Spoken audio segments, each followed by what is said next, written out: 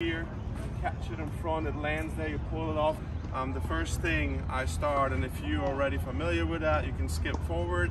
The first thing that's very important is the grip, obviously. So if you look at the hand and you have the index knuckle on the heel pad, if you draw a line there, you put that on the second bevel, which is right here, right here.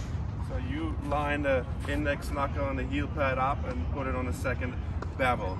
So saying this right now, this is the perfect continental grip for the volley.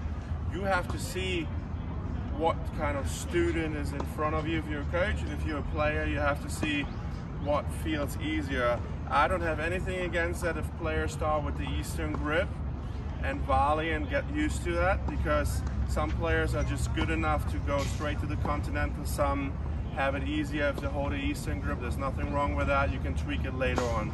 The next thing I found easy with the grip, so this was the using the bevels. And you can as well put the racket under your armpit and if you come around the racket like this, around the grip, and you tell your students it's like a sword you pull out, it's more for kids, they get a pretty decent continental grip as well. So, um, you know, as I said earlier, you know that you can skip forward. I need to put that out because it's very important. If you do not have the right grip, your volley most likely going to be finding some difficulties in different situations. Next thing that's very important is that split step. So you need the split step when you come in. You need to come in, you need to split. You have a good base here to push to the right or left. That's very important. Right before your opponent hits the ball, you have to come in low when you run up to the net. When you look at the, uh, in the past, um, Rafter or Edberg, when they came in, right, they, they hit the approach shot and they were low and they split here so they can go in and hit it. So those guys, you need to lower your center of gravity and split to have very much control over what your hands do when you volley. So when you come in, you can have, I have those circles here, and let's say we practice the forehand, you get an approach shot, make sure you change your grip after you hit the approach shot to the continental. You run up and split, and then you push from the outside leg and hit that ball. So a great thing to do with beginner players is if they're beginner beginner, if they're kids for example, you can have the kids, if we're talking about kids, if you're is it if that video right now, if you you you watch it with your kids, make sure you can have be in a ready position here and let them just go from the outside leg forward and clap. And then they go to the other side and they clap and then make them let let them have a rhythm. You know, like the Bryan brothers used to do that. They were low here. They used to do all. It's all about rhythm. One, two, three. One, two, three. Here we go. And then you create a rhythm. And this is like for the little little ones. Now you can step it up, and let's talk about uh, players that are a little bit older and still beginner players, very beginner.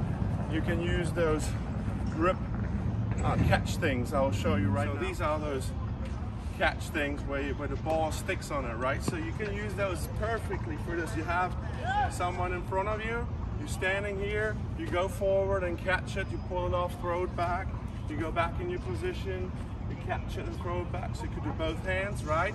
Or for the backhand, obviously, you go here, catch it in front, it lands there, you pull it off, give it back, and you do both sides. You can work really good with these things because what we want is when we catch the volley, everything is in front of us. So when I hit the volley, it's, it's always in front. So make sure that you keep your elbows in front of your rib cage all the time. You want to catch, you want to catch that ball in front of you.